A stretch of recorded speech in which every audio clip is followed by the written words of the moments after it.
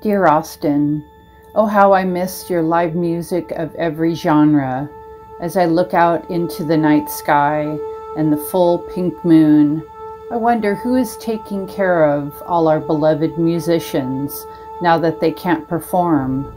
I wonder why no one mentions them on the news and how they are feeding themselves and their families or paying their bills. We boast that we are the music capital of the world. Our musicians are at the airport and all over town, giving tourists and locals a great experience of their own unique music. I wonder if they can sleep at night. I wonder if we will lose some of them, if they'll have to move because of job loss. I wonder, and I miss live music.